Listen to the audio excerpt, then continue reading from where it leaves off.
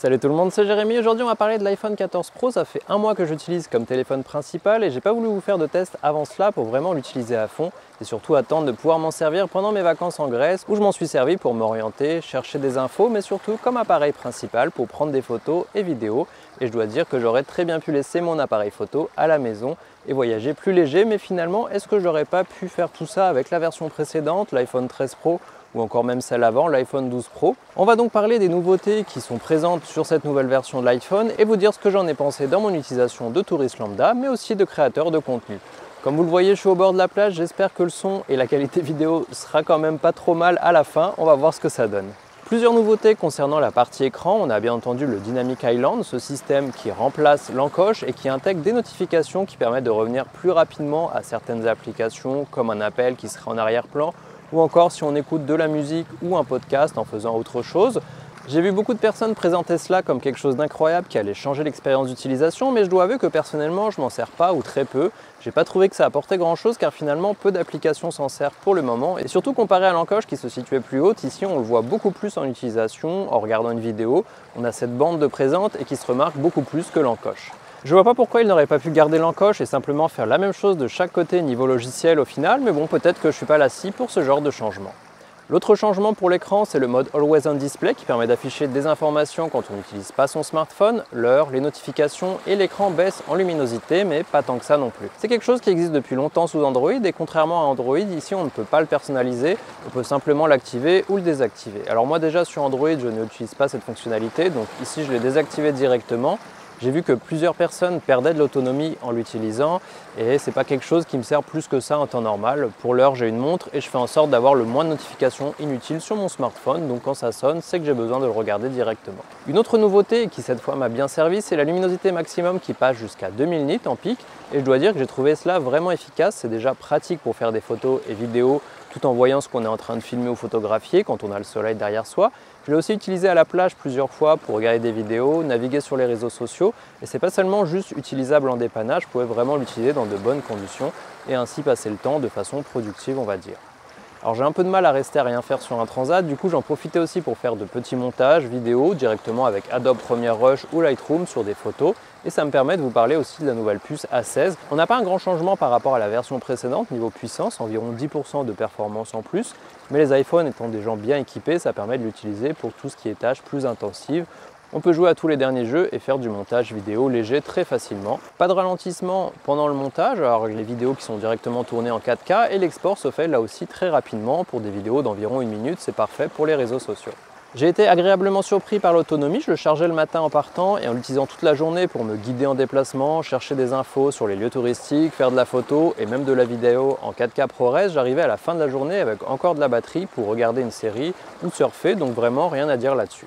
On peut donc tourner en 4K 30 ou 60 fps, voire même en utilisant le ProRes, faire son montage et le publier, le tout sans sortir du téléphone. Et ça, c'est bien pratique pour les créateurs, car comme je vous le disais, j'ai vraiment utilisé ce smartphone comme appareil photo principal pendant mes vacances et j'ai sorti pas mal de vidéos sur Instagram et TikTok sur un autre compte plutôt consacré au voyage que je vous mets dans la description si vous voulez voir un petit peu plus ce smartphone en utilisation.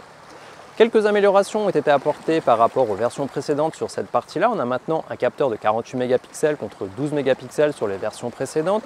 Une amélioration en basse lumière avec un capteur plus grand. Et personnellement, je n'ai pas testé le 13 Pro, donc je ne sais pas si les changements sont flagrants. Pas vraiment de ce que j'ai pu voir sur d'autres comparatifs, mais les photos sont belles, on a une bonne plage dynamique. C'est difficile de lui reprocher quoi que ce soit et les différentes focales permettent de ne pas être frustré en fonction de la situation.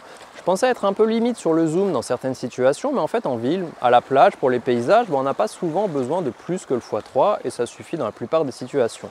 On a aussi maintenant un zoom x2 qui vient en fait zoomer dans le capteur principal. C'est pratique pour avoir quelque chose entre les deux, mais la qualité est quand même moins bonne que le x3 qui lui est optique. Donc au choix, mieux vaut se rapprocher ou se reculer. Bien entendu, comme sur les smartphones Android avec de gros mégapixels, il faut activer le mode dédié si on souhaite utiliser les 48 mégapixels et utiliser le format RAW. Sinon, on a le pixel binning qui va venir les combiner pour rester à 12 mégapixels. Dans mon cas, je l'ai utilisé pour tester, car effectivement, ça apporte plus de détails, mais les fichiers sont bien plus gros et je pense que pour la plupart des gens, l'intérêt sera plutôt si on souhaite recadrer la photo par la suite. Encore une fois, ça existe depuis longtemps sur Android, mais ce n'est pas quelque chose que j'utilise très souvent personnellement, car j'essaie de cadrer mon image directement au maximum. Mais c'est toujours bien d'avoir cette option facilement activable pour des clichés un petit peu particuliers où on prévoit de les retoucher, recadrer et faire quelque chose avec. Pour la partie vidéo, pas beaucoup de changements. On a le mode cinématique qui est maintenant utilisable en 4K, que j'ai pu tester pour notamment faire une vidéo YouTube complètement avec. Et le résultat est vraiment très bon, les contours sont bien marqués. J'ai fait en sorte de ne pas mettre le curseur à fond au niveau flou d'arrière-plan pour rester plus naturel. Mais au final, peut-être à cause du capteur plus grand, on a naturellement un flou d'arrière-plan. Et pour vous donner une idée, j'ai fait une seconde vidéo YouTube entièrement tournée à l'iPhone, cette fois avec le mode normal en 4K, sans le mode cinématique d'activer. Et franchement, je pourrais complètement remplacer mon appareil photo par cet iPhone pour le type de vidéo que je fais. Je pense que la plupart des gens n'y feraient pas attention. Mais ce qui est bien pour moi, c'est que le processus est plus simple. Le téléphone dispose d'une très bonne stabilisation, on a les différents capteurs à portée de main qui sont tous consistants, de la 4K jusqu'en 60 fps si je souhaite faire des ralentis, et même un mode Action Cam, mais que je n'utilise pas pour le moment au vu de la résolution de 2,5K qui pour ce que j'en fais apporte très peu par rapport à la stabilisation déjà très bonne. Le gros plus, c'est qu'une fois l'enregistrement terminé, j'ai juste à tout transférer avec AirDrop sur mon MacBook pour commencer le montage. Il y a quand même des inconvénients, bien entendu, le prix qui a augmenté en France, le fait de proposer encore la version 128 Go alors que les photos en RAW ou les vidéos en ProRes utilisent beaucoup de stockage et que 256 Go devait être le minimum offert pour le même prix selon moi, on a encore le port Lightning qui est lent pour transférer les gros fichiers si on a un autre appareil qu'un Mac ou iPad pour utiliser AirDrop. Et finalement, une grande partie de ce que je vous ai dit pour les points positifs ou négatifs pourrait être équivalent avec un iPhone 13 Pro ou même 12 Pro. On n'a pas des changements incroyables. C'est des petites évolutions qui ne serviront pas forcément à tout le monde et c'est plutôt l'iPhone dans son ensemble qui reste efficace en utilisation quotidienne, en photo vidéo et via sa qualité de fabrication, même s'il est un petit peu lourd. Finalement, même si je peux avoir de meilleures photos et meilleures vidéos avec mon appareil photo, l'encombrement d'apporter plusieurs objectifs, des cartes SD, des batteries et autres accessoires font que j'aurais pu totalement m'en passer et gagner en poids sur mon sac. Et j'ai tourné plusieurs vidéos ici avec l'iPhone et j'ai pas vraiment été limité en fait, au contraire, sortais plus facilement mon iPhone pour tourner de petites séquences où j'aurais pas pris le temps de sortir mon appareil. Et je dois dire que j'ai pas forcément eu ce sentiment avec d'autres marques chinoises qui ne proposent pas de la 4K sur leur capteur selfie, beaucoup de puissance mais mal exploitée ou qui tout simplement perdent la moitié de leur valeur en même pas trois mois. Ici je sais que même si je le garde, je pourrais le revendre sans trop de perte dans quelques mois sans problème. Donc oui, j'ai plutôt été conquis par ce téléphone. Maintenant, est-ce que j'ai besoin d'un smartphone à 1400 euros pour ma chaîne YouTube, pour être présent sur les réseaux sociaux ou tout simplement pour faire des photos de vacances non, j'en ai pas vraiment besoin et je pense pas que ça soit le cas pour vous non plus. Les améliorations par rapport à la version précédente sont vraiment pas énormes et finalement, acheter un smartphone à 500 euros et mettre le reste dans un appareil photo ou dans un budget voyage vous permettra de créer encore plus de contenu si c'est ce que vous souhaitez faire car de nos jours, c'est rare de trouver un téléphone qui ne soit pas bon en photo ou vidéo sur cette gamme de prix, mais aller dans un bel endroit où s'en servir, c'est finalement le plus intéressant. Pour moi, la seule raison qui me ferait le garder, c'est si je pense pouvoir le rentabiliser grâce au sponsor ou utiliser dans des comparatifs photo-vidéo qui pourraient me permettre de diminuer son prix au final et que ça puisse avoir un sens de mettre autant d'argent dans un smartphone. Bien entendu, si vous voulez vous l'acheter car ça vous fait plaisir, allez-y, mais encore une fois, est-ce qu'on ne peut pas trouver une meilleure façon de dépenser 1400 euros? Ça, c'est à vous de voir. Voilà, j'espère que cette vidéo vous a plu. Dites-moi ce que vous en pensez en commentaire. Je vous remets la vidéo que j'ai tournée avec cet iPhone 14 Pro pour que vous puissiez voir la qualité, parce que peut-être que vous cherchez vous aussi une caméra pour débuter YouTube.